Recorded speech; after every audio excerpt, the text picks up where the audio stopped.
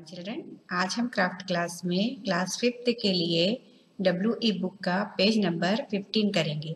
Page number 15 में एक landscape दिया हुआ है, जिसे देखकर ब्लैक पेस्टल शीट पर फ्री हैंड ड्राइंग करके हमें लैंडस्केप बनाना है।